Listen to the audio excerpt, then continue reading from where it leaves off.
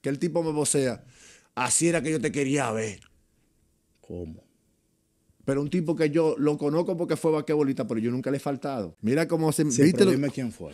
No, no te lo voy a decir, ese tipo no existe, ese tipo no fue nadie en el vaquebol, fue un loco. No, pero no, hay gente que dice que tú estabas en la selección de que pasé traductor. Tú no quedaste bien con Maíta este año entonces.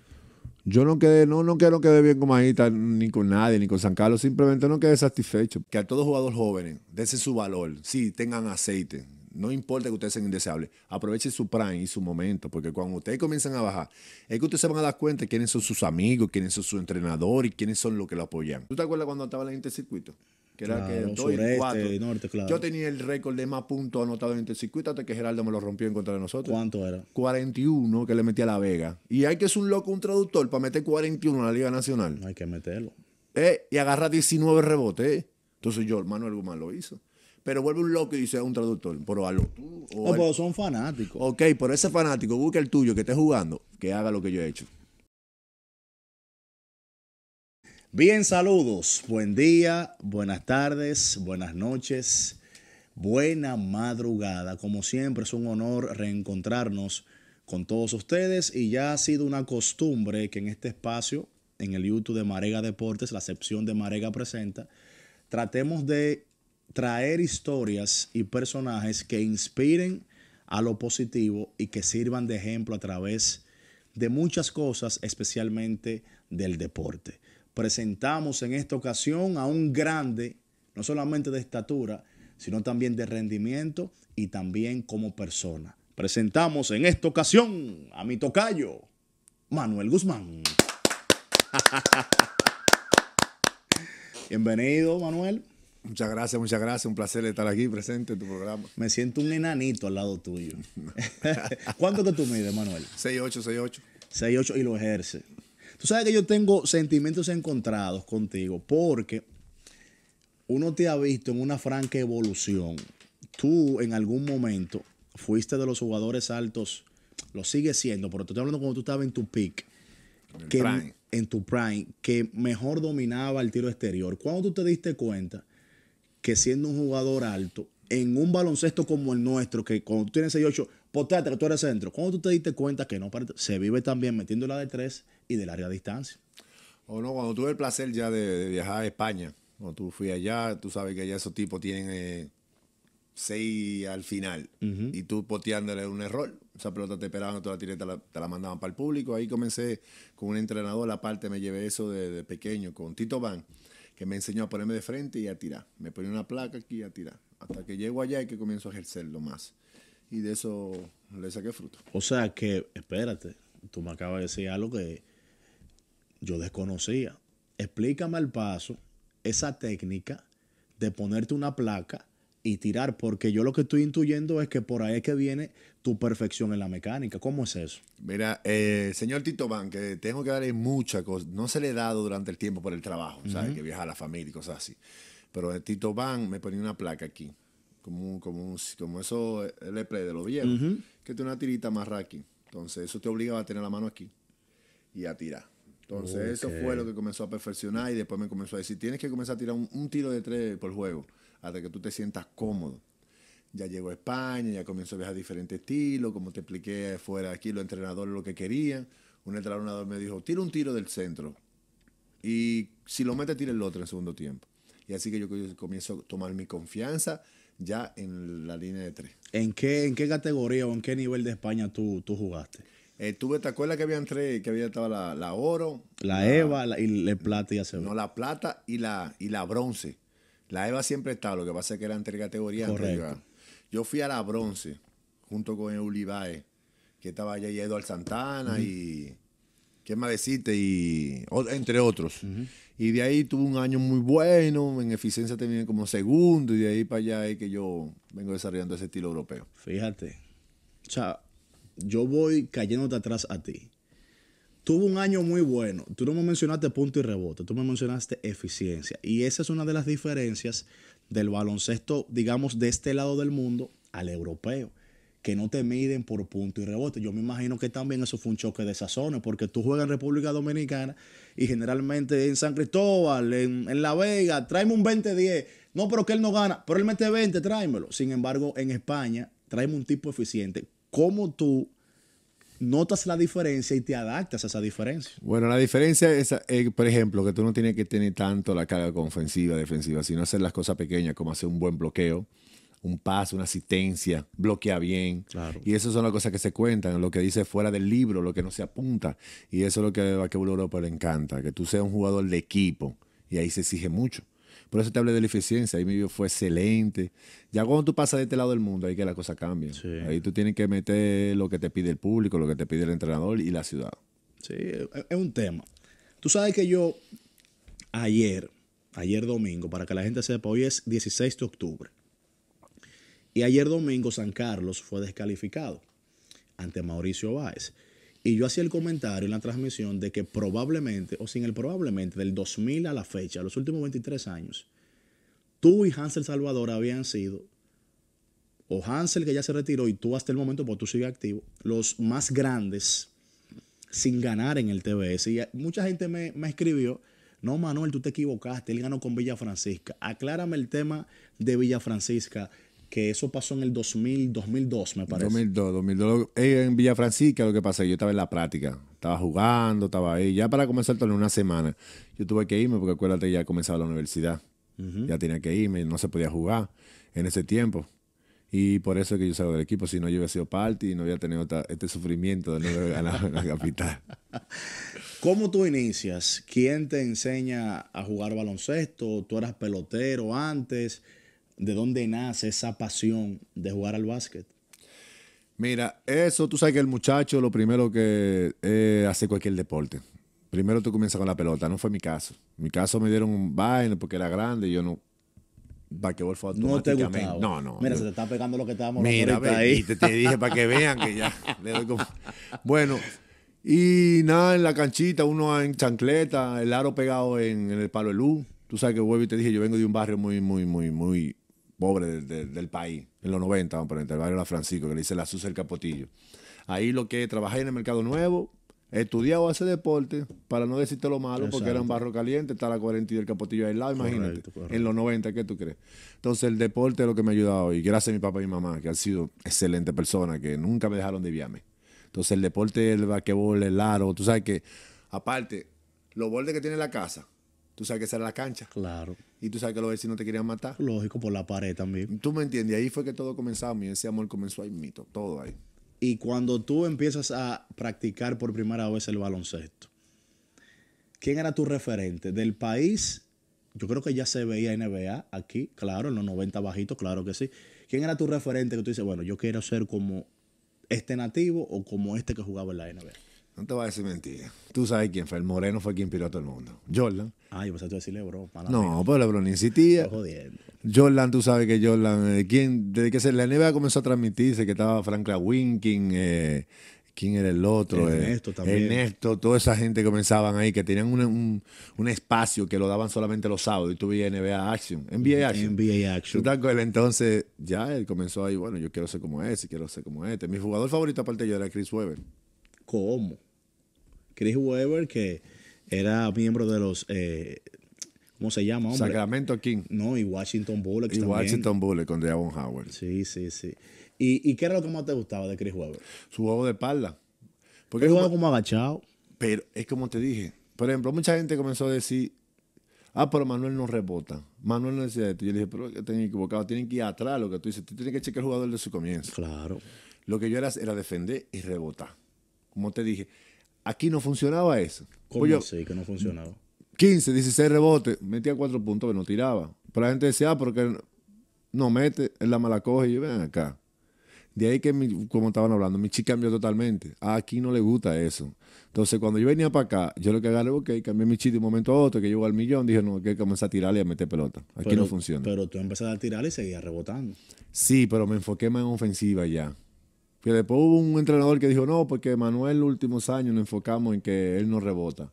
Y yo, ¿cómo así? Si mi carrera entera ha sido eso especial, porque por algo tengo lo que he logrado en rebote. Bueno, yo voy a decir algo que no voy a decir que poca gente sabe, pero que creo que el público en general no lo domina. Tú tienes el nombre del único jugador en la historia del TBS que ha sido líder en rebotes con tres equipos distintos. Ah, ¿Cómo se llama ese jugador? Manuel Guzmán. ¿Y dónde? Ah, lo tengo al lado. Ah.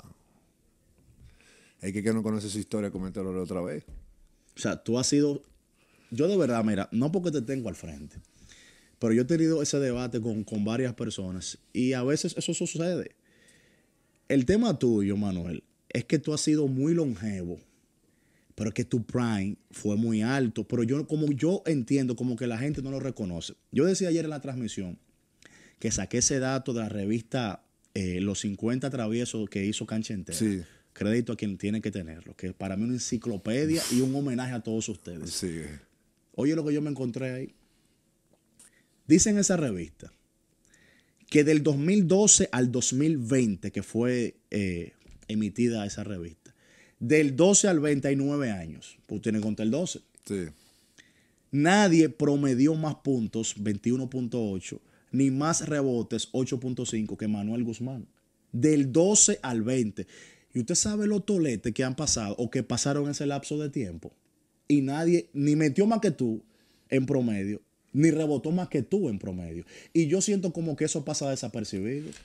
Por lo que te estoy diciendo, y te interrumpa, al no ser de una, de una barriada que me apoye, por ejemplo, mi barrio que te dije, levantarse a las 2 de la mañana los muchachos trabajaban ahí en Mercado Nuevo. Si yo hubiese sido un tipo nacido en Villajuana, Villa Consuelo, Cristo Rey, el mismo San Carlos, nativo de ahí, yo, te- yo creo que con los 41 años que tengo, yo voy a estar en la selección todavía, porque tengo un público y alguien que me apoya, que me va a empujar, y las cosas que no se me deben hacer, no me las van a hacer, porque van a tener miedo de una represalia. Por al ser solo, tú sabes que yo a veces, mi esposa, la que es mi mejor amiga en ese sentido, es que cuando yo me siento mal, es que me dice, pero tú te estás viendo loco, entrate a Google y búscate por lo que tú has hecho, y no solamente aquí, internacionalmente, que no ha sido fácil, que le doy gracias a Dios que mi carrera le enfoqué más fuera de aquí, porque le doy gracias a lo que tengo por eso, porque basquetbol para mí ha sido todo, desde mi familia, mis hijos y todos ustedes que lo conozco. Claro. Yo no tengo vida que no ha sido para basquetbol, gracias a Dios que hice basquetbol, pero a veces me molesta y cree que me lleno mal. Cuando yo veo que gente que no han hecho nada tienen más cosas y le dan como mamá un honor, señores, pero vaya- vamos a revisar, que no es de boca, ahí están, pero no te lo van a dar, no tengo nadie que me lo cuide. Está bien, pero eso es a nivel del fanático. Pero uno entiende que el, el periodista, por ejemplo, porque yo no puedo hablar por nadie, en mi caso, yo siempre he estado claro sobre la importancia que tú has tenido. Por eso te digo que si tú entiendes que no te la dan, pues yo te voy a decir otra cosa. En la historia del TBS, más de 40 y pico de ediciones, solamente 12 jugadores han agarrado más de mil rebotes. Y tú eres uno de ellos. Te dije, como te dije, en todos los récords, aunque no me la quieran dar, aunque a personas no le guste mi juego, tal vez no le guste mi personalidad, que no soy un tipo arrogante, no me la creo, no le falta respeto a nadie en mi carrera entera, que he aguantado mucho, creo que es el error que siempre me va a arrepentir. ¿Cómo me va a arrepentir? Que a todos jugadores jóvenes, dense su valor, sí, tengan aceite, no importa que ustedes sean indeseables, aprovechen su prime y su momento, porque cuando ustedes comienzan a bajar, es que ustedes se van a dar cuenta de quiénes son sus amigos, quiénes son sus entrenadores y quiénes son los que lo apoyan. Le van a dar una patada. Entonces, si usted está en su momento, pisa que usted quiere, y lamentablemente me duele decirlo, pero es lo que me ha pasado a mí. Nunca, nunca he faltado. Oye, yo nunca le he dicho a un, a un entrenador, estando en mi prime, bote ese juego, tráeme este. O a un gerente, bueno, esto. Nunca lo he hecho. Pero sin embargo, yo veo Que que se se, estila eso. se veo que es normal y eso es lo que a la gente le gusta, la doble moral. Porque cuando tú te, te van a pisar, te lo estoy diciendo, porque ¿qué yo no he hecho? En la Liga Nacional, tú buscas de los 4 o 5, Manuel Guzmán está, punto, rebote está. Yo tengo 86 puntos de, de- de convertirme en apenas el cuarto jugador en 3.000 puntos. Y eso no lo resaltan. Esas son cosas que soy yo por alguien amigo mío, como tú, aparte de ti que me estima, Manuel, pero tú estás tanto. Pero nadie ¿Tú más lo resalta. que el tema de los rebotes, estamos del 2021 con- en eso? Que tú lo resaltas. Ah, es verdad, y yo atrás y yo atrás. Mira, hasta el final yo me pasé y nadie se dio cuenta de eso. 1045. 1045. Cuando te hicieron el reconocimiento, ya yo había pasado. ya todavía pasado. Pero por lo menos se hizo. No le agradezco a la, a la Badina, a San Carlos, pero te digo, nunca he tenido un referente y no, no excúseme a que, a que quiera a que se ofenda. Es que duele Claro. tú trabajar y, no, y que no te den lo que es tuyo, porque tú no estás exigiendo lo que no es tuyo. Si tú trabajas hay que dártelo. Claro. Entonces yo he sentido que me he pasado toda mi vida y todavía quieren ponerme un asterisco. ¿Qué es lo que yo tengo que hacer? Sí, porque dicen que tú no has ganado. Es que yo te cuento en la NBA más de 10 que nunca ganaron y son Salón de la Fama, y Estrella y... Karl Malone, Charles Barkley. Y un sinnúmero, John Stockton, líder asistente todos los tiempos. Seguimos, Patrick Ewing. Sí, porque no es tenis tampoco. Es que no es Yo te individual. voy a decir una cosa. Va que aquí a veces tenemos mente corta. ¿Quién fue el mejor jugador de San Carlos en el 2022? O uno de los mejores tres, para no. ¿Quién fue? Mi persona, Con 40 años. con 40 años, Sin embargo, este año, para el termo. super mejoran el equipo y te mandaron para el termo. Yo me imagino. Sin preguntarme, Digo, sin ah, decirme pero para nada. que voy, yo te iba a decir que yo me imagino que a un tipo como tú, de tanta experiencia, de tanta trayectoria, uno no va a pensar que con 41 años tú vas a jugar los, mi- los mismos minutos que Juan Guerrero. Pero me imagino que se acercaron a ti para explicarte el plan, ¿verdad? A mí no me explicaron nada. Y eso sí me siento mal, porque desde el primer día de la práctica yo soy el primero, como en la rueda de capitán. prensa tú estabas ahí también. En la rueda de prensa estaba ahí también. Siempre apoyé. Físicamente, como te dije, me siento mejor que hace cuatro años. Tú me viste estar donkeando en calentamiento. Claro. Bien ready. Pero le dije a una persona que yo estaba, estaba leyendo un libro, que lo peor del mundo es cuando a ti te implantan una duda en el cerebro. Es el peor mal que hay. Porque algo tú te lo puedes sanar, pero cuando tú tienes duda de lo que tú hacías tan bien, tú quieres como quitártelo.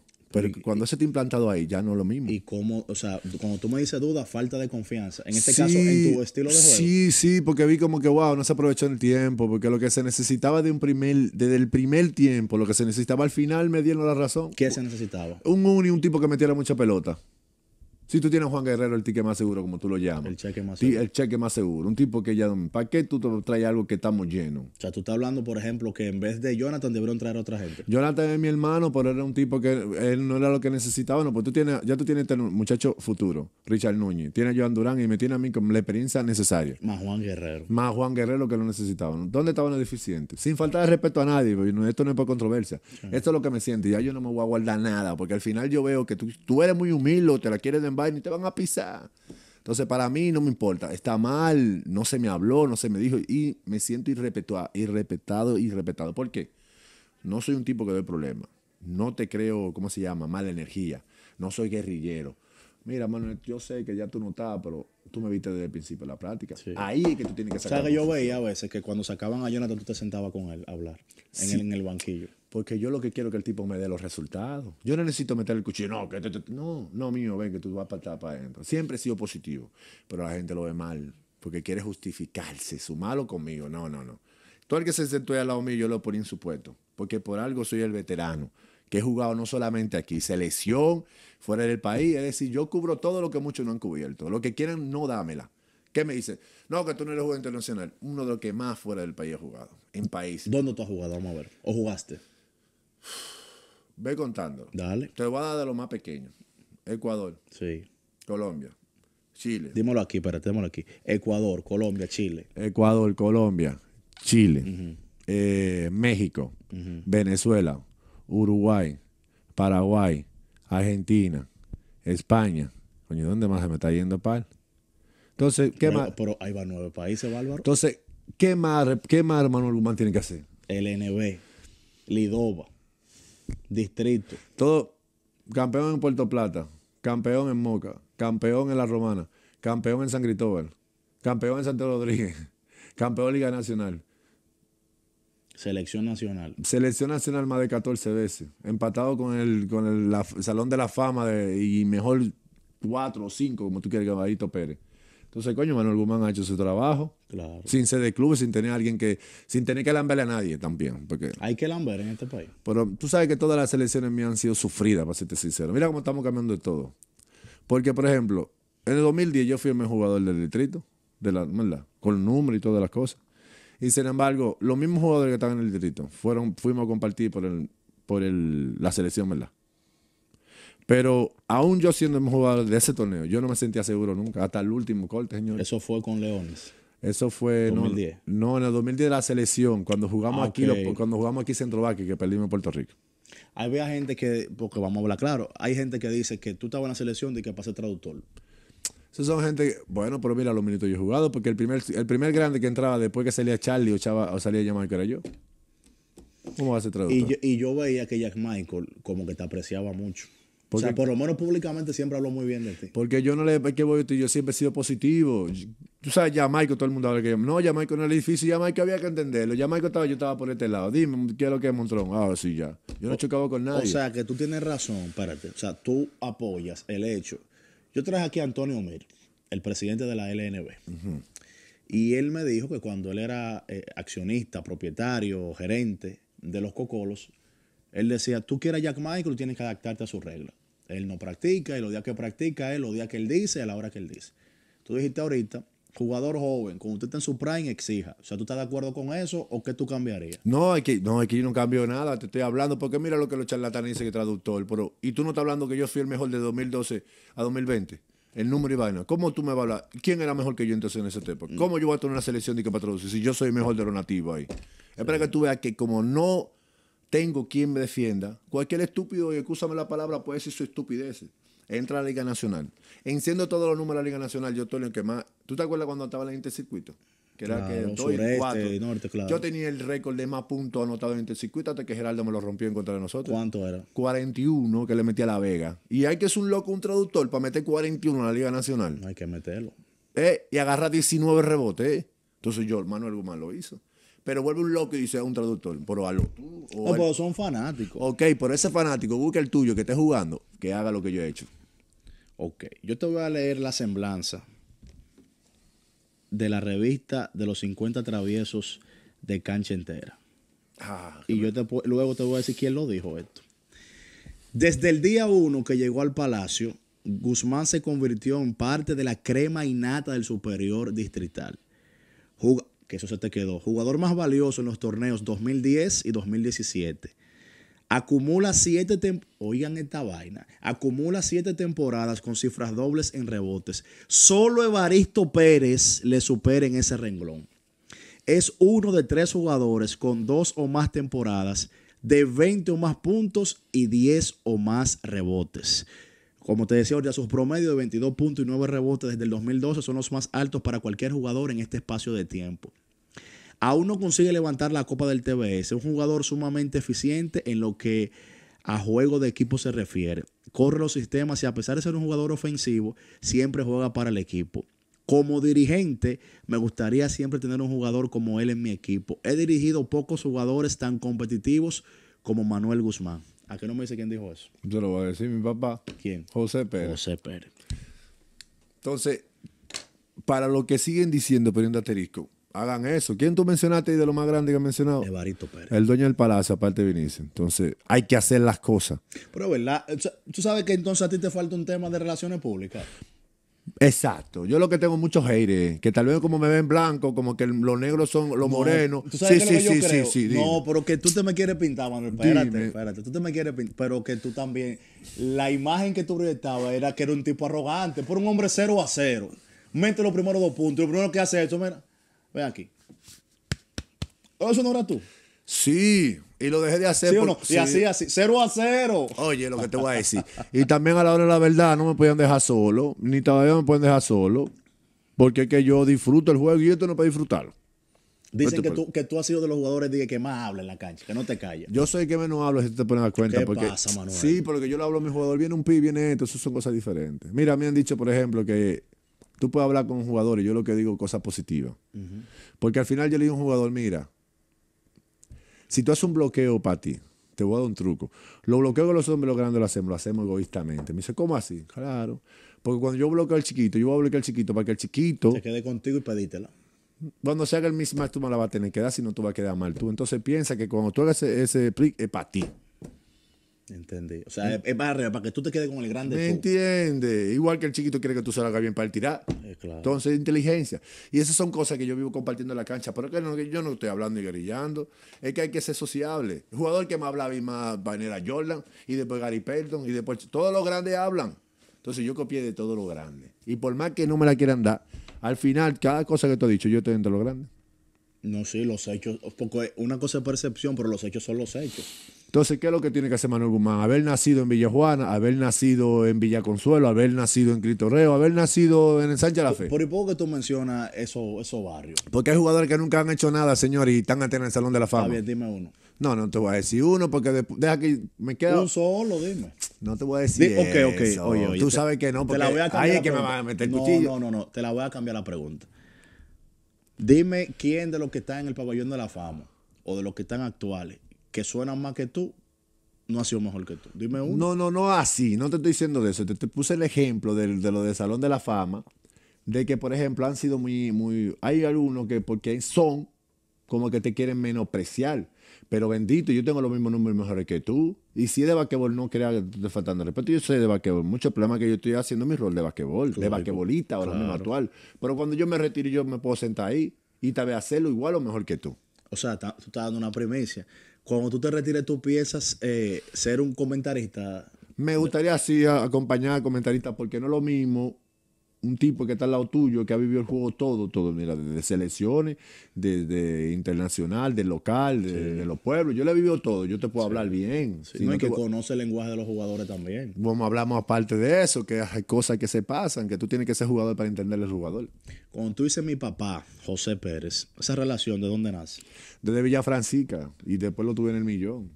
Ahí fue que gané, eh, sí, no, no, después el segundo año lo tuve en el millón. Porque una persona, vuelvo te digo, y nunca. Yo le agradezco mucho haber, haber sido drafteado por Villa Francisca. ¿Por qué? porque cuando yo iba a Francisca, Villa Francisca había que ser guapo. Pero Francisca se peleaba prácticamente toda la práctica. Y no se veía mal. Era normal eso. Un fao durísimo normal. Pero tú a un equipo de estos moralistas y de una vez quieren para la práctica, después es el juego realmente. Tú haces un show. Ahí en video yo aprendí eso con Cari, con Cani, con con el necio de Otto Van Troy. Ahí se daban a. Gómez Con Andel DH. Te digo. ¿Cómo se, llamaba? Que eran dos hermanos. Eh, eh, apellido Aibar. Los Aibar, eran primos, no eran hermanos. Ah, eran primos. Primos. Junior y, y. Juan Álvarez, creo que era. y sí, Aibar. Todo eso se vivía ahí. Para tu un minuto ahí. Yo le doy gracias porque aprendí ahí que todo eso se quedaba en la cancha. Yo no llevo ni un rincón con nadie. A mí me han partido, me han hecho de todo y yo sigo jugando. Y después lo, abrazo. Hay algo que yo quiero contar que te pasó en San Cristóbal eh, con, Madre Vieja. Creo que fue el año pasado. Ya, no, tú me, que tú te acuerdas fue con, cuando gané con Ciro Pérez, mm. que, me, que me dieron siete puntos de ahí. Peor, no. Yo me acuerdo del primer juego del 2022. Ah, sí. Que te partieron, creo que fue la nariz. Tú fuiste, te cosiste y volviste por el mismo juego. Fue así. Así mismo. Pues ya lo he hecho dos años sin San Pero en el mismo juego. con Ciro Pérez contra Pueblo Nuevo, con el equipo que iba a ganar. A mí me un tipo medio y no fue fao, oye la cosa, yo salgo así cuando se me, la oreja se me, no sé si tuve aquí, se me despega y me dan siete puntos. No fue fao. Yo me fui así, fui y me cosí, regresé para el último cuarto, metí los últimos tubos y ganamos el juego.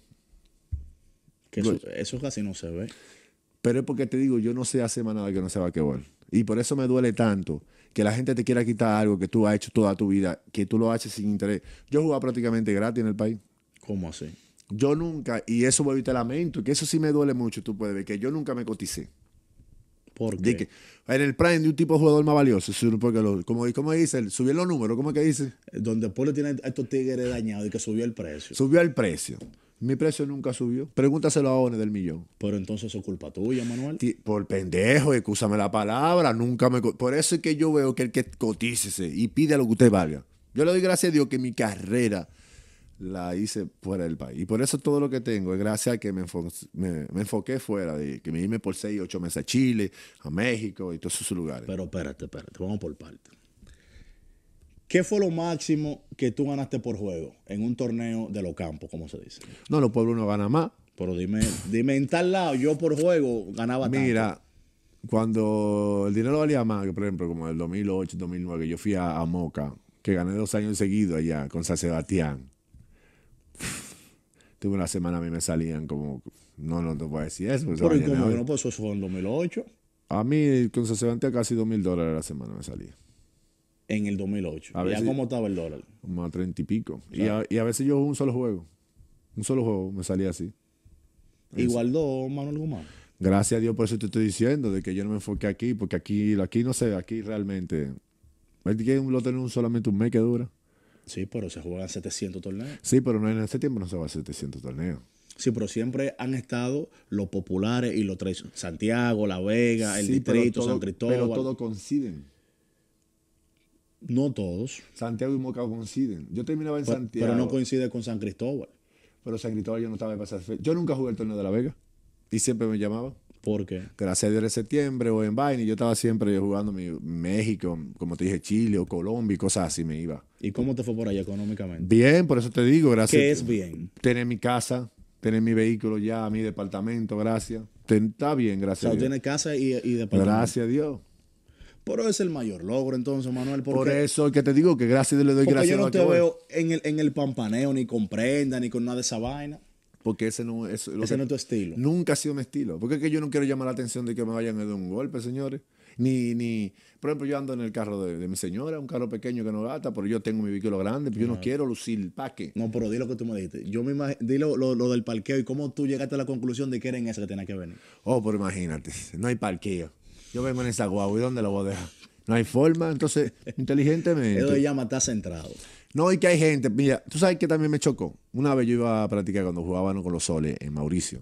Y había un tapón tan grande y como yo me gusta llegar tarde, todo el que me conoce yo dos horas antes, una hora antes, tranquilo.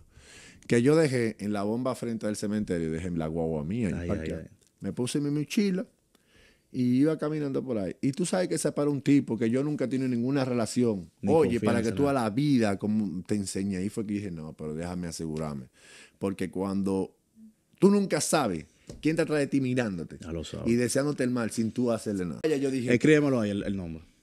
es que después de vaina te lo voy a decir. Ese, esos tipos me saltó. Y yo dije, espera que tú veas que de que menos tú esperas, Wow. tiene un sentimiento y cuando ni te hice mal, ni te robé, ni te quité, ni te di un golpe, ju- jugamos juntos en dos equipos, ¿cómo tú tienes ese sentimiento? No, espérate, pues yo, yo, voy a sacar. En Villa Francisca jugaron juntos. Mm, eh, no.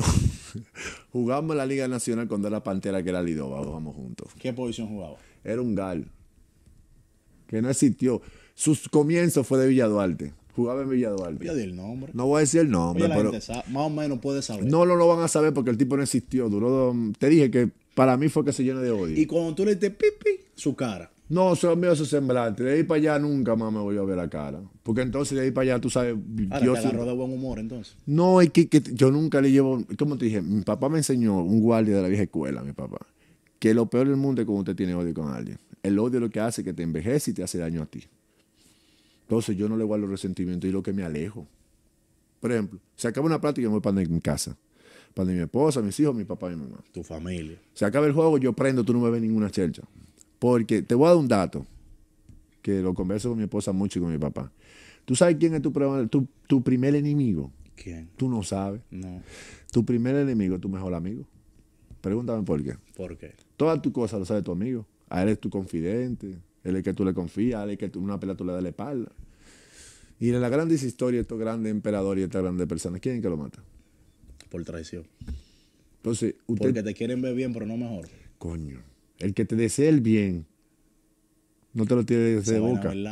Te lo estoy diciendo por. grifo. Ah, te lo estoy diciendo por experiencia. Yo no me Pero guardo ¿y nada. ¿Tú sabes qué es lo que pasa? Que hay gente. Me voy a montar en esa bala que está ahí. La fiesta del deporte escolar ya tiene casa.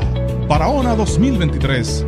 Los Juegos Escolares Deportivos Nacionales 2023 con sus sedes en San Juan, Bauruco y Asua. 3.645 estudiantes competirán en 18 disciplinas deportivas que componen las 18 regionales educativas de República Dominicana. Juegos Escolares Deportivos Nacionales Barahona 2023 Hay gente que se ganan 10 pesos. Oye, esto es exagerado. Hay gente que se ganan 10 pesos y le molesta que tú te ganes uno. Coño, pero tú te estás dando 9 más, más que yo y a mí no me molestan tus 10. Yo estoy disfrutando mi uno.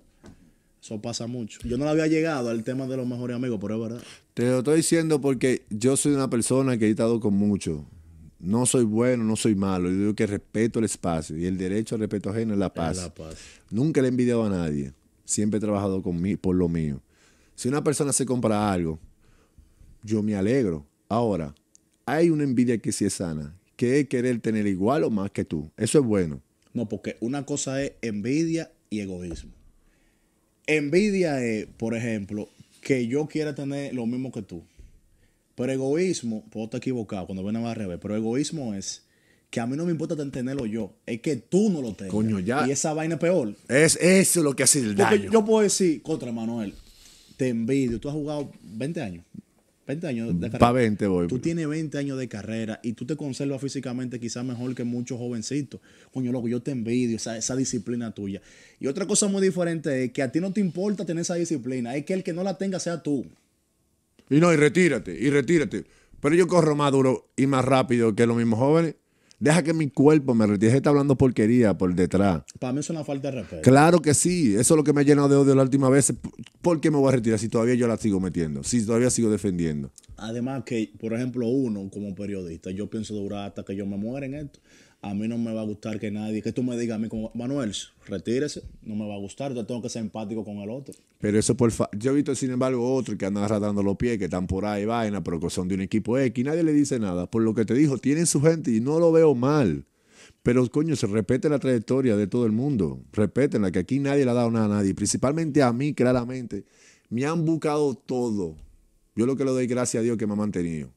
A mí me pasan cosas y yo te digo, mira, el vaquebol no es fácil, un deportista no tampoco. La gente no sabe que uno tiene familia. Lógico. La gente no ha sabido que tú has amanecido en un hospital con tu niña, con tu esposo o algo, para tener que jugar un juego importante. La gente no entiende que a veces se te ha dañado el inversor y se ha ido la luz, como en este país tú no dormiste esa noche antes. La gente no entiende que tú chocaste y tuviste que llegar para el juego. Una discusión con tu mujer. Que se te murió tu abuela y tú no pudiste llegar, pero tú fuiste al juego y cumpliste. Y tú no sabes el sentimiento y cómo, porque los, los deportistas no somos seres, no somos robots. Tenemos sentimientos. Tú no sabes qué le está pasando a ese muchacho, qué le pasó que jugó mal ese día. Entonces la gente simplemente está bien para criticarte. Y el que está al lado tuyo, que sabe lo que tú está pasando, el que te mete el cuchillo. Porque te voy, a, te voy a dar una alerta lo que me pasó a mí, que le agradezco mucho. Se llama, es apellido Pai. Pai, sí. Yo vengo de Chile. Yo no estaba impuesto a comer esa comida ya. Chile es un país hermoso y todo eso, pero yo no estaba impuesto a la comida. Duré ocho meses que sí para allá. Yo vine para acá un torneo. Y yo estaba medio lento, y, pero que yo no sabía qué era lo que me estaba pasando y no podía reaccionar. Y me dice un tipo, Montro, yo no, tú, ese no es el Manuel Guzmán que yo conozco, ¿qué es lo que te está pasando? Oye, del lado contrario, un fisioterapeuta fue que me dijo eso. Y yo me llevé, me dijo, ve a hacerte una vaina y yo fui a chequearme. Cuando yo fui a chequearme, yo tenía 8 de hemoglobina. ¿Tú sabes qué eso significa? Uy. Yo estaba a uno de que, de que había que hacerme transfusión y todas esas cosas. Porque la mujer, por sus cosas mensuales, la tiene en 9, lo mínimo. Yo la tenía en 8. Yo tuve una anemia crónica. Y tú no lo sabías. Yo lo que, que comenzaba ya, yo estaba muerto así. Cansado, no tenía fuerza, no tenía nada. ¿Para qué año estamos hablando? Estamos hablando hace tres años. Estamos hablando antes de la pandemia, fue prácticamente. Sí, por ahí 19, 18. Yo estaba así. Y tú no sabes lo que yo le agradezco a ese tipo. Yo pensaba que era problema del corazón que yo tenía. Yo estaba asustado porque a medianoche me levantaba, se me faltaba el aire. Cuando fui que me hice todas las cosas, era anemia que tenía. Pero yo me veía igual y pesaba igual, pero no tenía sangre en el cuerpo. Mira la cosa, mira. Pero es muy fácil criticar. ¿Cómo se llama ese fisioterapeuta? Es Paez. Es uno de los hermanos Paez. Yo sé que el apellido Paez me escribió. Él me escribió y me dijo. Y eso me marcó para toda la vida. Ese tipo, si alguna vez me necesita, créeme lo que yo puedo estar en el fin del mundo y yo voy a llegar. Porque yo escucho a todo el mundo. Tú me puedes decir, Manuel, pero tú estás haciendo eso, estás saltando. Yo te voy a escuchar porque nunca he sido arrogante. De que no, y este sabe, yo no tengo comentarios. No, no, yo escucho.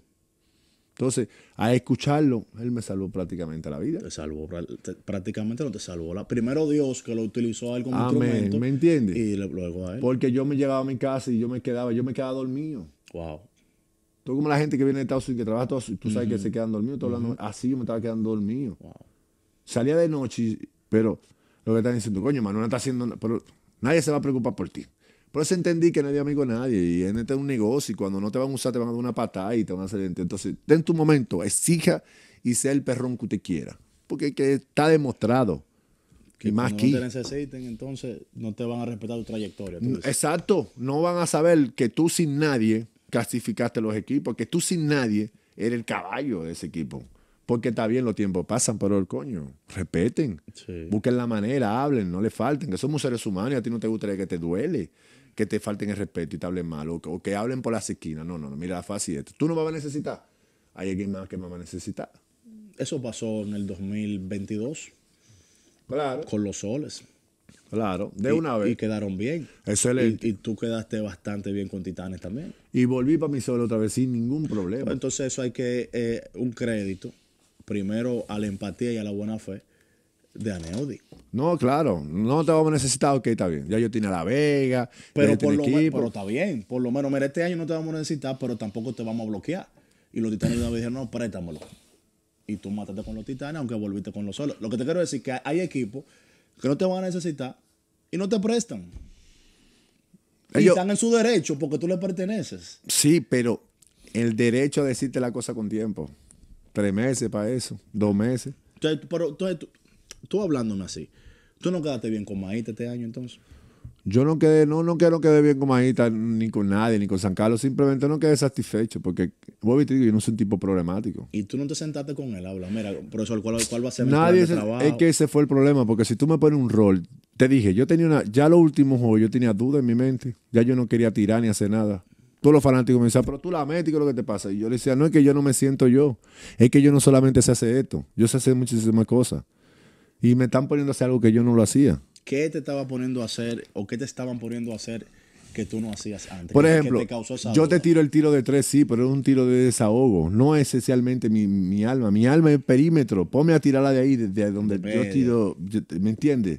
Del campo, donde yo he sido toda mi vida letal, que tú no me puedes dar ese tiro. Entre tú, lo que es el tiro de la esquina de Juan Bautista Araujo y el tiro como de la media copa así tuyo, letal. Y son dos veteranos para que tú veas. Entonces, eso es lo que tú no me puedes dar a mí. Tú no me puedes tirar una liuya. Yo no tengo ese salto que tenía hace seis, siete años. Lógico. Entonces eso me sentí mal y, y ya me llegó la duda, ya, ya me llegó el sentimiento y lo peor como te hablé en Venezuela de la cosa, como vencimos, uno ve como muchachos tipo dos años sin jugar prácticamente.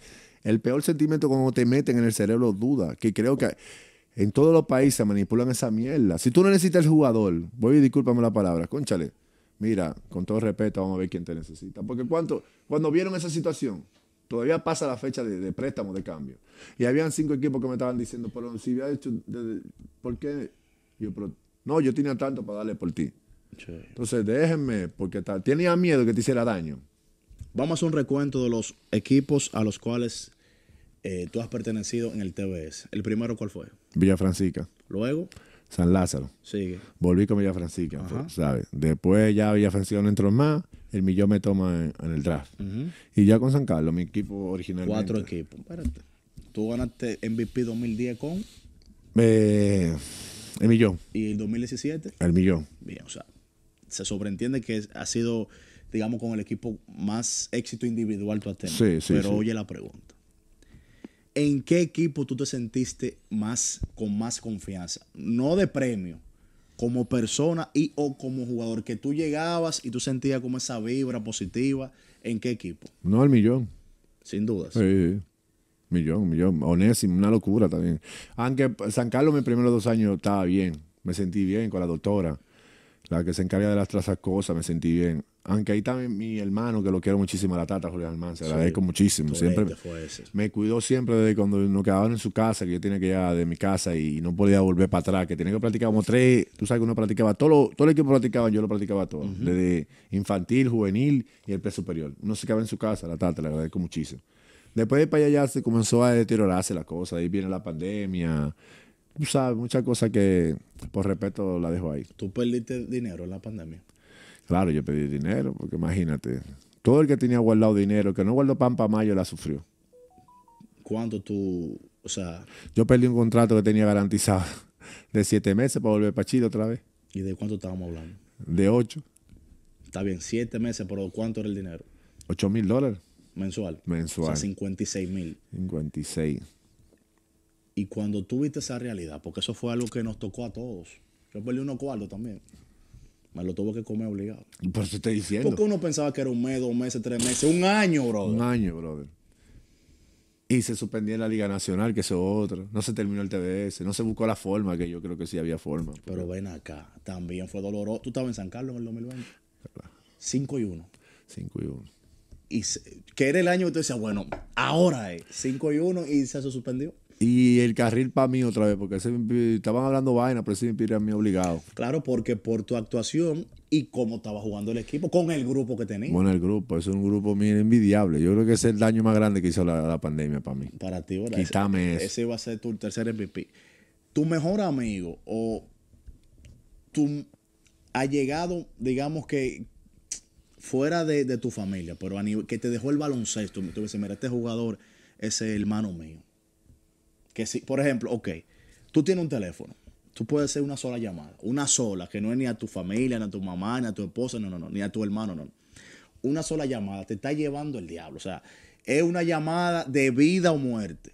Y tú solamente se la puedes hacer a una sola persona, a una sola, del basquetbol, incluyendo dirigente, incluyendo compañero. ¿a quién tú se la das? ¿A quién yo se la haría esa llamada?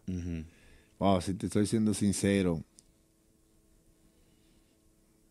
me duele decirlo, pero yo no tengo esa persona. Mierda.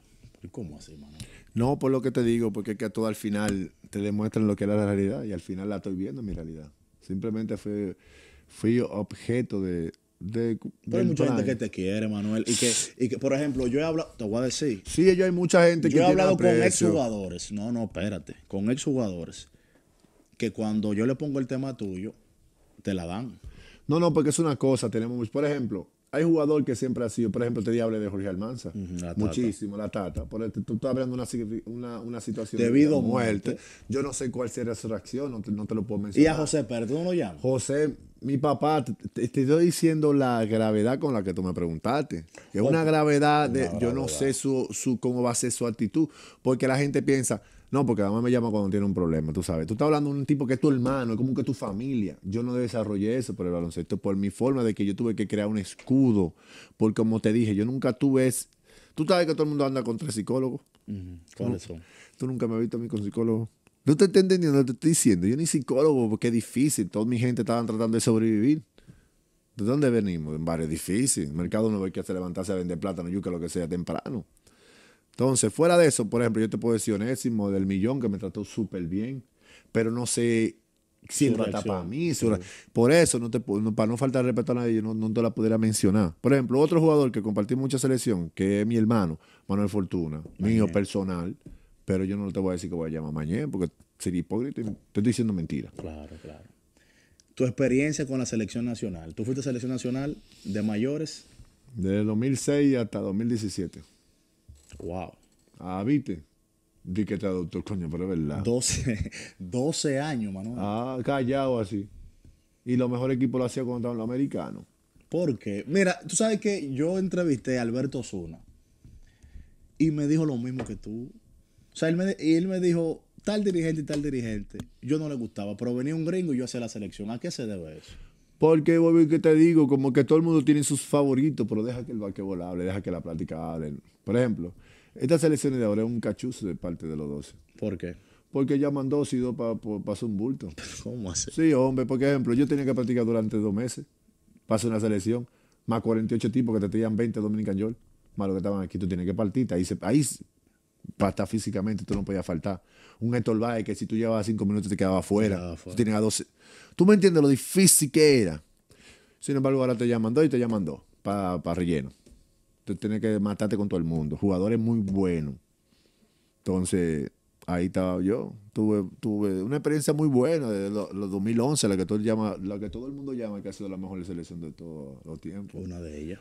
¿Quiénes estaban en la selección? Ah, te voy a decir los titulares. Estaba el Holford, Charlie Villanueva, Francisco García, Yamarco Martínez, Luis Flores, eh, Manuel Fortuna, Ya, pues, eh. El Pollito, Ronald Ramón, Edgar Sosa. Y estaba tú. Orlando Sánchez, Manuel Guzmán, cositas, por más que hablen, no me la den, no me importa. No, pero tú estabas Los ahí. números están ahí. Tú estabas ahí. Y después 2012 con Cartown, en el repechaje de Venezuela. Háblame de ese. Tú, tú hablabas con él en ese momento. Claro. Porque tú eras de lo, de lo que de lo del patio, de lo que hablaba inglés, porque es un plus también. Claro, que ellos pueden buscar lo que sea y los números no están ahí. ¿Y qué decía Cartano? Cartown siempre fue un niño, ¿qué te digo? Ese, eh, lo, que, lo que él es ahora, él siempre ha sido de niño. Su mamá le, le dio una educación excelente. Humildón, así. La humildad increíble. Nosotros lo veíamos loco a él. Jugábamos mucho uno por uno. Tienen que buscarme esa vaina cuando estaba en Caracas, que le gané para mandárselo. Uno para uno, regalarte. Yo siempre jugaba mucho para uno O hay que buscarlo entonces. Hay que buscarlo. tipo, con esa, esa actitud que él tiene desde pequeño. Mucho estaba con 15 años con nosotros, jugando duro y dándose codazos. ¿Cómo? Pero venga, acá cuando Calipari lo toca, lo llevó. El muchacho estaba ready ya. ¿Dónde él iba para esa pelea? Ese muchacho estaba ready. Estaba ready. Oye, esta vaina se está dando bueno, no me hagan señas que no te vamos a seguir. Le Esta vaina está buena le aquí. acaban de hacer una sella, lleva, lleva 50. Estamos, esta vaina está buena aquí. Si ya está aburrida, ya no, ya no salió hace tiempo. Una cosa, Manuel, una cosa. Tu mejor dirigente en esos 12 años de la selección, De los mejores dirigentes. para ti. Para mí. No los mejores, tu no, no. mejor. Musselman. Eri Musselman. Eric Musselman. Excelente dirigente. Oye, tuve a Calipari. Calipari es muy bueno, muy ¿Por qué Eric- Eric Musselman? Eric- porque Eric Musselman era más psicólogo. Eddie Moseman Era un cosplayer. Sí. Yo no entendí por qué no le dimos más seguimiento a Eddie Moseman. Incluso nos lo encontramos en el repechaje siendo el de, la, de, de Venezuela. De Venezuela. Moseman es excelente. Todavía te, hace, hace, antes de la pandemia yo todavía hablaba con él. Todavía hablaba con él. Incluso se llevó a Juan Pablo y a... ¿Tú y te a- acuerdas de Juan, Wow, Juan Pablo Montera? Era uno de los proyectos más que lo vi jugando con los Leones. Con los Leones este año. Excelente. Tú ves, Juan Carlos y tú tienes esa, y Eduard Santana, que físicamente se mantienen ready. Es que uno vive de esto y todavía amamos No me digas que uno vive de esto, porque que hay jugadores que se le olvida que viven de esto y tienen unos barrigones. Sí, pero por eso te digo, pues, yo siempre he respetado. Es para, ¿Tú sabes por qué? Es para que no me den excusa. No, que Manuel está así. No, que Manuel está así. Es que yo no te voy a dar que me excusa. Deja que el juego me saque. Es que eso es lo que yo te he explicado durante toda la entrevista. No me saque tú, porque es que yo no soy, nunca he sido un cáncer en ningún equipo. No doy de qué hablar. Por ejemplo, mi equipo, aparte de los Leones, con Eduardo Najeri en la Liga Nacional, ha sido los Soles. duro, Eduardo Para mí, Eduardo, como dueño y gerente, ha sido lo mejor que ha pasado en la selección. Por el mismo tiempo, para mí, el mejor dueño de la Liga Nacional es Chala. ¿Me entiendes? Chala ha sido el De dueño de los soles. Willy, Willy Chala ha sido excelente, te habla, es humano, te entiende.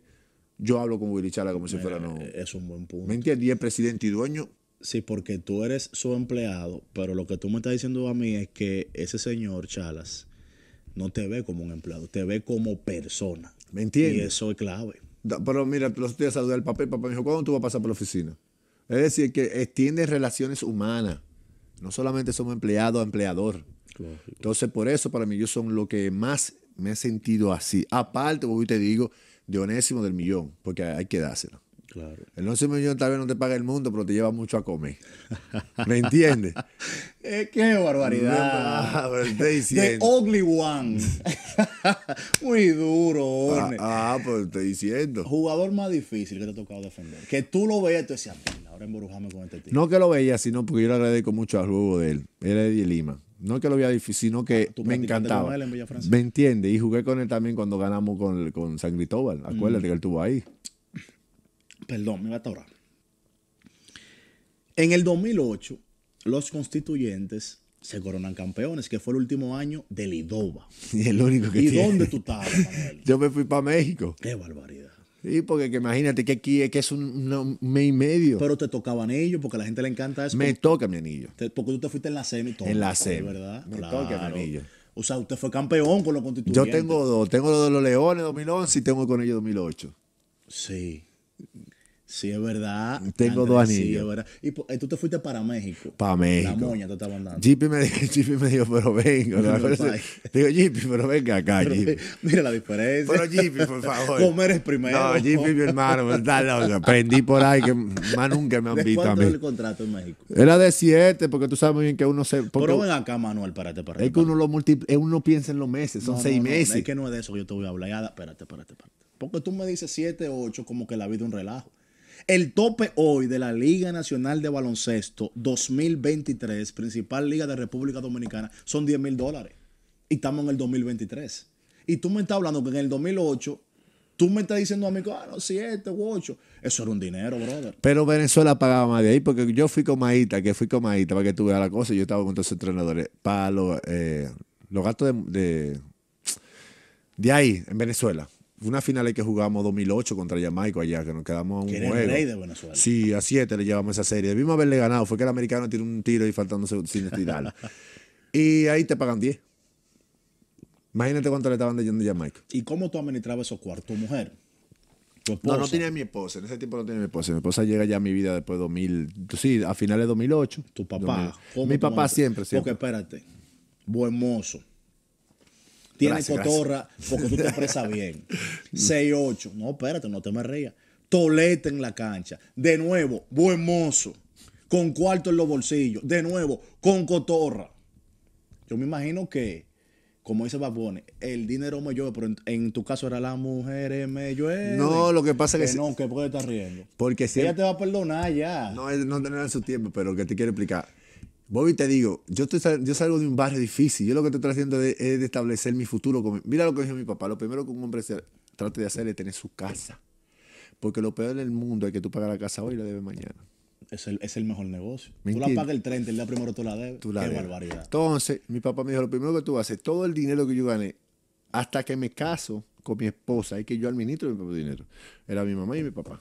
Oye, pues un ejemplo, Manuel. Yo ni- ni cuenta ta- tenía mi nombre. Yo te voy a decir una cosa. Esta ha sido, sin temor a equivocarme, si no la más, una de las entrevistas más sinceras que yo he hecho. Porque no me siento que estoy entrevistando. Siento que estamos hablando y que tú estás diciendo cosas que tú sientes decirla y que la viviste. Pero es un gran ejemplo. O sea, tú allá arribota, en la cima del mundo, a nivel de basquetbol y de dinero, y tu papá y tu mamá administrándote los cuartos. Es un gran ejemplo para los muchachitos de ahora. Hoy Manuel tiene su casa, hoy Manuel tiene su apartamento, una familia lindísima, dos hijas, ¿verdad? Dos hijos, dos- sí, y un varón. Y un varón, var- Dos varones. y dos, cuatro. Una esposa que yo veo que, que- que tú la subes mucho y, y- y le dedicas muchísimas cosas en Facebook, en Instagram. O sea, yo te veo a ti un tipo centrado. Como te dije, que, es que la admiro mucho porque, por ejemplo, Bobby, te digo, yo me tenía que ir, dando la situación que tuvimos en nuestro país, esa es la realidad, por seis, por seis siete y ocho meses. Wow. Ella sola con tres niños, de Puerto Plata ella, nativa, no es de la capital, no, nunca quiso aprender a conducir. Yo tengo una, una, una teoría con la gente de- del norte del país. que hace sola, entonces. Por eso yo- mi homenaje siempre son para ella, porque no es fácil. Detrás de un, como dicen, de un hombre hay una una mujer, porque ella es la que tenía que educar a su muchacho solo. Sí. En lo que yo no estoy, llevarle a la escuela, asegurarse de comer. Mientras yo estoy practicando, jugando. No, y, y- es lo único que llamarla para preguntar cómo está todo. Están bien los muchachos que se enfermaban, que esto, y, y ella ahí sola. Y mantener tu, tu mente tranquila de que tú tienes una buena mujer aquí para tú trabajar tranquilo por ahí. Eso, exacto. Que por eso es que no tengo palabra ni forma. Por eso yo trato de que esas cosas pequeñas para subirla allá arriba, porque el pedestal de ella es muy grande. Porque la tranquilidad de un hombre es lo que te da de resultados. Si tú no estás tranquilo, tú no puedes hacer las cosas bien. Puede producir. Entonces yo por eso, es más, yo juego mejor fuera del país que estando en el país. ¿Por qué? Porque nadie profeta en su tierra. Eso es verdad. Yo, por ejemplo, estaba en México, la gente... Mira, 2014 ganamos medalla de oro en los centroamericanos de... Para el que, el que va a traducir. En los centroamericanos de Venezuela. dolido a este hombre eso. Sí, porque es que tú hay que hacerlo saber, tú ignorante. Eh, excúsame. Y el gerente general era Kobe, Raúl Peña, ¿tú ¿sabes? Y cuando estamos llegando a México, vamos al primer juego, ellos ven que me esperan muchas personas, muchas jóvenes y muchos jóvenes, y sacan cuaderno viejo 2008 con fotografía cuando yo tiene el cabello por aquí. ¿Cuál de ti tiene el cabello largo? Sí. Ven, firma. Tú sabes que él después que se pasa dos o tres días me dice, oye, pero yo te quiero hacer una pregunta. Es increíble. Tú eres una tendencia aquí, tú eres un ídolo aquí en México. En lo que estábamos jugando ahí. Todo el mundo se acordaba de mí, en 2014. Yo jugué en Córdoba, Veracruz, el equipo de, de Arcoli. Y lo hice también que todavía muchachos que eran jóvenes de 8 años todavía tenían su recuerdo y su firma en su cuaderno. Entonces, como dijo el Señor, nadie es profeta de su tierra. Y eso es lo que a mí siempre me ha dolido, que a uno lo traten mucho mejor fuera de su país. Por ejemplo, yo no camino a pie porque cuando camino a pie, ven, ¿para dónde usted va, Guzmán? Ven, para llevarte al Guzmán, ven, o Gus, o G, como me dicen los americanos. Ese amor y ese cariño que nos dan a Y nosotros. cuando tú caminas a pie aquí. No viste lo que me puso un tipo. Así era que yo te quería ver. ¿Ves la diferencia? Sí. Y la percepción de lo que tú tienes que cuidarte. De que el que tú piensas que no es. Es duro esa, esa transición. Pero me imagino que es parte también del, del mismo negocio. No es parte de que Dios te está ayudando. Porque nadie le tira piedra a los mangos verdes. Exacto. Entonces yo me agrade- por eso fue que yo no, mi reacción fue esa. No, mira, pip, pip. Mírala ahí. Es por el tapón que estoy caminando. Y lo mataste sin. Además, que tampoco tú tienes que darle esa explicación. No, que no le di explicación. Me dijo, no, pip, pip. Ya.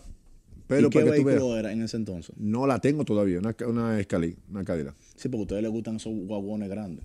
No tengo tres grandes. Me gustan vehículos grandes. Humildemente. pero- Sí, gracias a Dios. No una, porque, tengo tres. Sí. No una, tengo tres. No le está haciendo señas que esta vaina está buena, hombre. Prende, prende, prende. Tú sabes que yo me siento bien porque. Se te está quedando vaina de preguntar y te, te, te he dejado libre. Dime una. No, pues pregúntame de dónde mi, mi, mi- de dónde. Yo fui al Liceo Juan Pablo Duarte también. Háblame de eso. Liceo Juan Pablo Duarte, caminar del liceo. ¿Tú sabes dónde está el Liceo Juan Pablo Duarte? En la Duarte de ahí. No. Bueno, tú dónde está el play. eh, del play que está en la quinto centenario. ¿Cómo que se llama ese play famoso? La normal. El, el normal, la Ahora normal. sí, ahora estamos- Al lado de ahí. Ok. Imagínate caminar a pie de ahí para el barrio. Wow. Que no es fácil. No haga como Valletel, que un día que llega, estamos tarde, y son como las 10 y pico y ya se le sacaba. Y me dice, me dice a Valletel, que lo quiero muchísimo también. Ese otro que tampoco le he hecho su. Porque uno se pierde y se lo olvida. No es que uno lo olvida, pero Se le va, ocupado. se va. Manuel Ballester, presidente de San Carlos en su tiempo, es que me consigue la beca para irme para Estados Unidos en el 99. Para el equipo de Champaña School. Acuérdate, fui campeón mi primer año también, el segundo A. Tengo ese anillo también. Y yo, de gracias a Dios, fui pues, exitoso. Para lo que siguen hablando. ¿Qué te digo? No fui a, no fui a, a Purdue University ni a West Forest porque no sabía inglés cuando llegué. Pero tiene todo eso. Y otro dato te voy a dar. Yo era el número 8, Ranking Junior. Cuando a Mauri llegó a la NBA, que él era el número 1 de Florida, yo era el 8 en la Florida, ¿viste? 43 en la nación. Es decir, que yo he trabajado para, para, para lo que tengo. Te, te he dado muchas cosas. No, pero de, no- dale. te, te estoy tirando No, rápido. Dale, da- ¿Cuántas entrevistas te, te han hecho?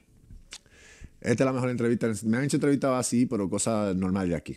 Pero, No, pero no, yo, no yo le he dicho. No, no, no. Yo digo una cosa de entrevista de- luego de un juego. Yo estoy diciendo que te hayan invitado a un programa. No, dos, dos. ¿Cuál Aparte de esta. Se me dan un pana. Son dos páginas que lo tienen. Pero, Pero, es- pero fue así, o sea, te invitaron. sí, me invitaron, sí. Eh, eh, parte que tú estés aquí es diciéndote que para mí tú mereces respeto Muchas que, gracias. que hay que darte. Muchas y yo no quiero limitarte, habla lo que tú quieras. Que al final, al final yo sé que luego de, de esta entrevista que me, está- tú me estás concediendo el honor, porque para mí es un honor, aparte de que te quiero mucho, porque yo te voy a decir una cosa, y lo voy a decir públicamente. Una vez tú hiciste algo que a mí no me gustó, yo te jalé y te lo dije, con Aneudi. Sí, Y- sí, y, sí, Y no lo voy a, a recordar. Y después tú me explicaste, tú tienes razón, pero pasó esto. Yo, lo hiciste mal como quiera, porque al final Le di la razón. no, y, y no, y al final, el que no conoce está bien solamente tu acción. Sí, sí, sí. ¿Y qué tú me dijiste? Tú tienes razón. Sí, sí. Y eso a mí me gustó, yo de, de un tipo maduro, tú ves. Yo te lo dije sin saber cómo te iba a reaccionar. No, porque voy te digo, yo siempre he respetado la decisión de la gente para afuera, porque uno está lleno ya. Tantas cosas como te estoy diciendo. Mira dónde yo vengo. No ha sido fácil. No, no. Tú eres un No ha sido ejemplo, fácil. Tú eres un ejemplo, Manuel. Yo me- nadie sabe que, por ejemplo, voy a lo de Ballester, es mi país. Ballester me dice, pues yo aún más claro, sabes que él son, me dice, ven, acá, Manuel, ven para llevarte, ¿en qué parte del Naco tú vives? Oye, O de Gasco. oye. Digo, ¿cómo así, Ballester? Porque San Carlos está ahí, Gasco está atrás, San tú no, sabes. y tú tienes feeling de rico. Me llegaste. Fui blanquito, hombre. Bueno, ¿qué partido? No, Ballester, ¿dónde tú Naco, vives? Dale para normal. Yo vivo eh, para, ¿por dónde tú para el Mercado Nuevo. ¿Por dónde? Por la 42, así, el barrio que está antes de pasar Villa Mella. Y no, pues, yo te voy a dar lo del taxi. Agarré y me monté en una ruta 30, me monté que pasé por taxi. Taxi, Ni, ni los taxistas entran, pues estamos hablando de 94. No, y que te clavaste unos cuartos. Tú sabes, me dio 300 y pagué 30 de vaina. Y 270. Ven acá, los cuartos. Entonces, para que tú veas, entonces, eso es lo que yo me he molestado, que tú me quieres, venga, aquí es fácil, de ahí. ¿Tú crees que mi papá tiene, gracias a que era militar, es un guardia por ahí? Pero tiene que esperarme a las 12, ahí en esa calle, ahí el Paseo del Rollo Católico, ahí el Mercado Nuevo, Formación que ahí pasan, tú sabes, Sí. arriesgando su, su, su bienestar, una persona adulta ya. Esperame que yo llegue para entrar para la casa. ¿Cómo se llama tu papá? Mi papá se llama Olivo. Olivo Guzmán. Y mi mamá Flora. Y mi esposa Stephanie. Mis hijos Elian, Emanuel, eh, Bel y Elismal. Yo quiero que tú le dediques esta entrevista a ellos porque tú lo has mencionado, cada dos segundos eh, los mencionas. Y eso, más allá de tus logros como baloncetista, yo creo que eso dice muchísimo más que todo lo que hemos hablado aquí. Porque refleja una persona, primero, con formación hogareña y con valores. Y eso para mí es lo más importante. Cuando uno hace una entrevista o un conversatorio, lo más importante es dejar en esa persona que te ve algún tipo de valor.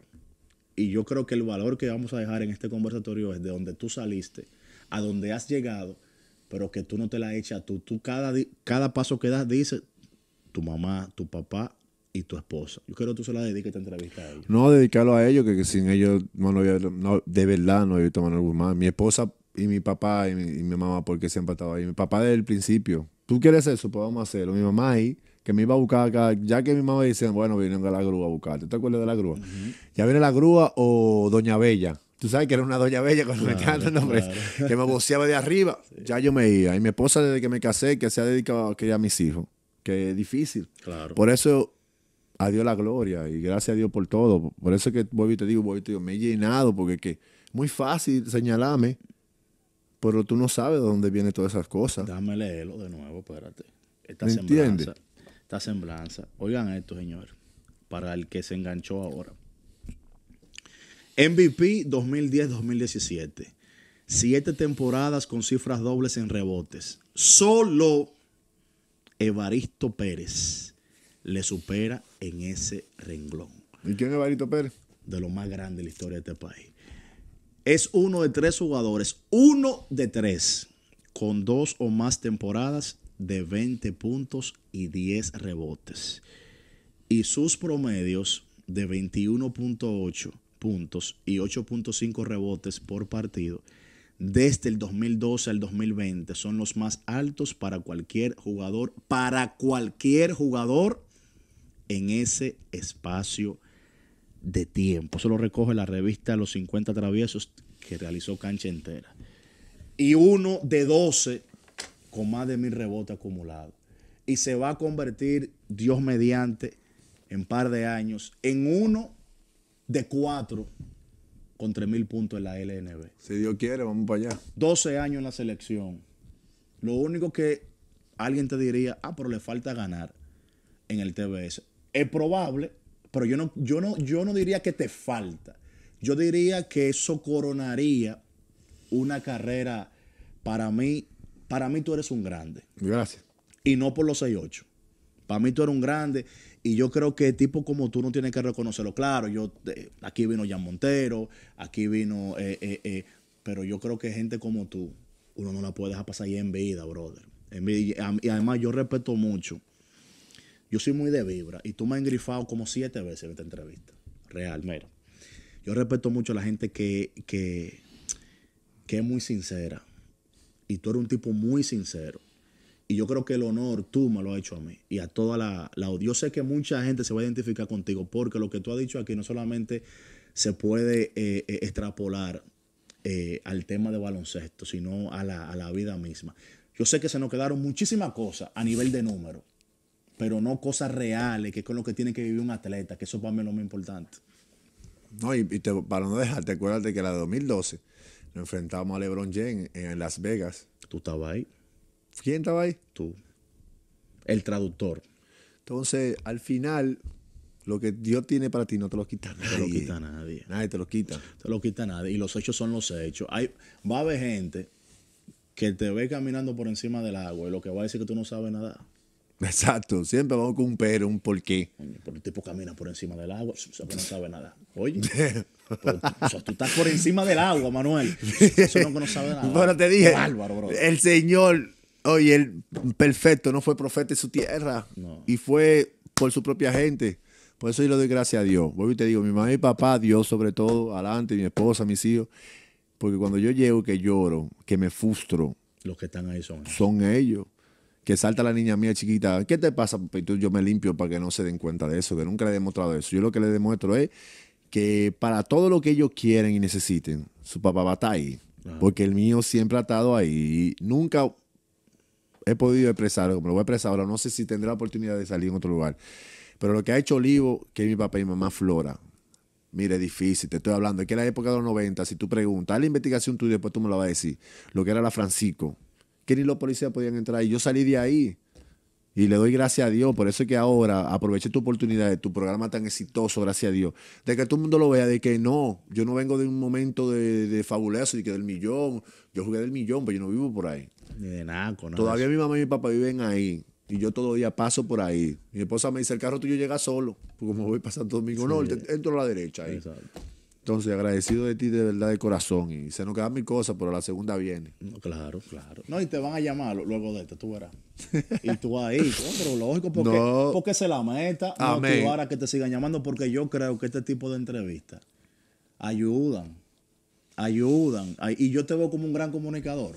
No, al lado tuyo, de que me retire. Dame dos años, porque voy a vainas personales ya. No es cosa, es personales para ir ahorrándolo así, para que el traductor siga buscándosela ahí, tranquilito y siga llegando a su libro. ¿Qué título tú quieres que yo le ponga a esta entrevista? Como tú No, quieras. no, no, no, pero te lo estoy diciendo en el aire. ¿Qué título, dime? Eh, el espérate, título. espérate. Manuel Guzmán, dos puntos. ¿Qué título le pongo? El sobreviviente. Así lo pongo. Manuel Sí. Guzmán, el sobreviviente. Sí, a esta, a esta doble moral que hay. Yo no soy de ninguno de esos clubes grandes. Yo lo que sí he hecho las cosas, gracias a Dios y mi familia que la tengo detrás. Pero lo que ustedes, por más que quieran, no me van a quitar lo que está ahí. Está ahí, está escrito, yo lo hice, no me lo van a quitar. Pueden buscar el pretexto. Mira que te voy a decir, oye lo que un, un abusador me dijo a mí, que ahí fue que yo me molesté mucho. Bueno, Manuel, tú tienes número de casa para ser, para ser vieja gloria. Así me dijo usted. Un entrenador. Pues no, pues dime el nombre por lo menos. No, es que no te voy a decir, es que no le voy a dar fama. Vieja No va, no. coño, pero así Di no. dije, activo todavía. no, yo lo que le dije, pero bacano, pero ese tipo de Salón de la Fama promediando 7 puntos de toda su vida y ese 6. Y tú me estás hablando a mí. Coño, qué sentimiento. Y gracias a Dios que, me de- que ya tú me demostraste quién tú eres. Y sigue caminando. Es para que tú veas que siempre te quieren estar metiendo los pies. Sí, porque esa es otra. Hasta el 2020, esos números hay que actualizarlos, obviamente. Tomando la temporada 22 y 21. Tú promediabas por encima de 13 puntos. En 20 años de carrera. Dime. Que generalmente cuando uno alarga su carrera, los números promedios sufren. Sí. No, su- por eso más me molesté, porque yo creo que no fue necesidad de hacerme lo que me hicieron. Usted no me va a necesitar, présteme, véndame, déjeme libre si usted quiere, que usted piensa que yo no doy más. Deje que el juego hable, no me lo quite usted, porque yo a nadie le he quitado nada a nadie. Eso fue lo que yo sentí. A mí se me quitó algo que era, para mí, se me faltó el respeto. Así fácil. En Ya yo no me guardo nada. Claro, porque como tú puedes ver el mejor jugador del año pasado, de un momento a otro mandarlo para el tanque del agua. Y por primera vez en mi historia, pasar dos juegos y yo no veo un minuto sentado. Sí, eso pasó este año. Eh, ni cuando novato apostaba malo, se me partió una rodilla, no podía No correr, no podía respirar. Oye, yo nunca he Y, y a una pregunta, en, en- en ese trayecto de dos juegos sin jugar, ¿alguien hablaba contigo? Nadie me dijo nada. Pues tú eres el capitán de ese grupo. Ni hablé, ni, ni busqué quiquilla, ni nada, porque al final yo lo que quería ganar y transmitir una nueva vibra. Te estoy siendo sincero a ti porque tú eres mi hermano ya. Y el respeto se, con respeto se paga. Hasta el sol de hoy, nadie, ni directivo, ni dirigente, ni nada, me dijeron por qué fue. Yo comencé desde el primer día. Porque te digo, 20 libras menos, ready.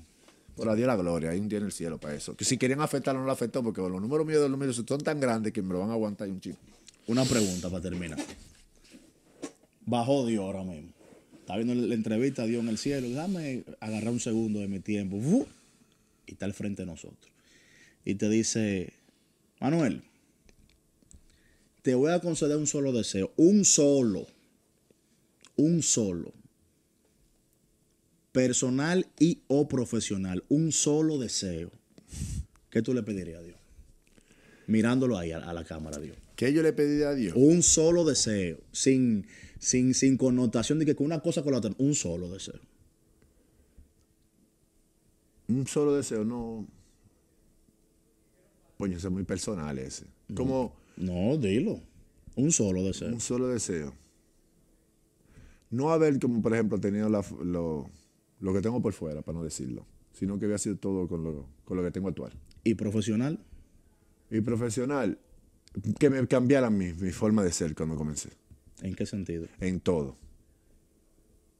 Porque lamento haber sido tan así. Porque al final, Pero lamenta haber sido tan bueno, tú dices. No, lamento haber tenido mi, mi, mi, mi, mi comportamiento tan, tan, ¿cómo se llama? Tan, Desinteresado. sí. Porque al final, el pensamiento que tú tienes de mí no te lo cambia nadie, aún te salve yo tu vida. Eso es lo que he aprendido. Aún yo te salve tu vida, tú siempre vas a pensar que yo soy un hijo de... Entonces, eso me lo había cambiado, para vivírmela bien.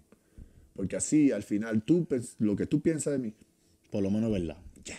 O sea, tú, tú lo que me refleja es que hay personas que piensan que tú eres un arrogante, un echón, un- y sin embargo no conocen tu historia de que tú al contrario, lo que dejaste quizás de ganarte más por mantener... Y que no lo saben, porque lo saben. Mucha gente a mí me ha dicho, ah, pero yo no sabía que tú eras así. Ah, pero yo no sabía que tú eras así. Y todavía siguen pensando, pero si tú sabes que yo no era así, ¿por qué tú sigues todavía? Claro. Entonces, eso sí, después yo no me quito. Mi vida Manuel. ha sido perfecta. Te agradezco demasiado tu sinceridad, tu, tu trato, tu puntualidad. Quedamos una hora y llegaste como siempre, 15 minutos antes. Y duraste más porque había un tema en el parque. O sea, que cuando ven a ver, tú llegabas media hora antes, eso yo lo valoro mucho, porque eso me dice a mí, sin decírmelo, el tema de tu disciplina con el trabajo y respetando el tiempo del otro. Te agradezco muchísimo, te felicito por todos tus logros, he visto tu carrera prácticamente completa. Y el hecho de que yo te aplaudí en los constituyentes en el 2008, yo tenía en el 2008, yo tengo 35, voy a cumplir ahora en noviembre. 27. Menos, qui- no, menos 15. Ah, menos 15, Yo 12 tenía años. 22, 22, 21. 37, 22. 22. No, espérate, se me fue la Pues matemática. yo te estoy diciendo. Súmame ahí, DJ Exagera. Yo, te- yo voy a cumplir 35 en noviembre, estamos en el 2023. Al 35 quítale 15. Yo tenía 20 años. 20 años te estoy diciendo. 20, 19 años. 20 años. Y el hecho de que el Dios me haya dado el chance de verte brillar y ahora ponerme en este lugar entrevistándote a ti, te dice que siempre hay alguien que te ve y probablemente indirectamente tú me inspiraste a mí en muchísimas cosas, sin yo ni siquiera saberlo, porque yo era fanático, en, pues yo soy de San Cristóbal.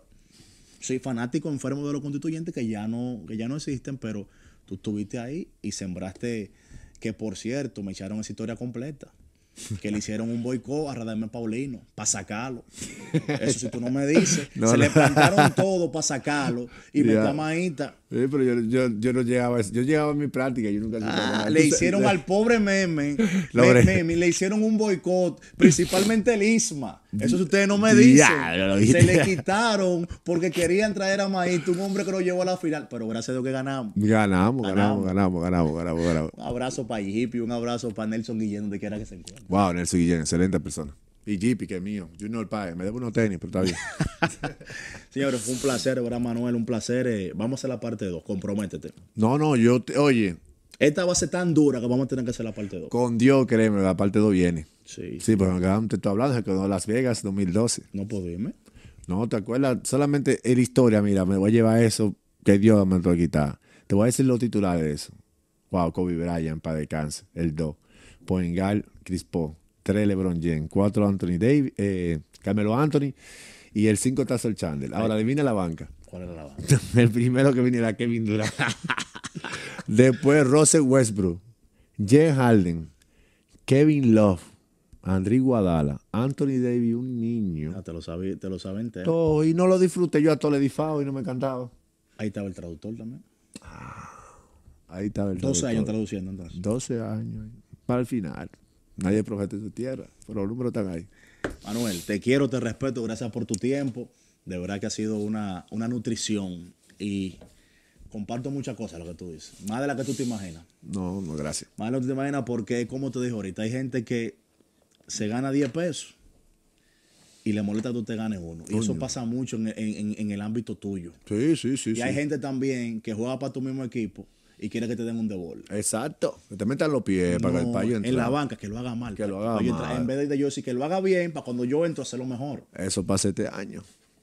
Por eso te digo. Yo le digo todo. Un abrazo y viene la parte 2 oficialmente. Viene Con la parte Dios. 2 con mi hermano Manuel Guzmán, mejor conocido a partir de hoy como el sobreviviente. El sobreviviente. Un abrazo para todos. Dios.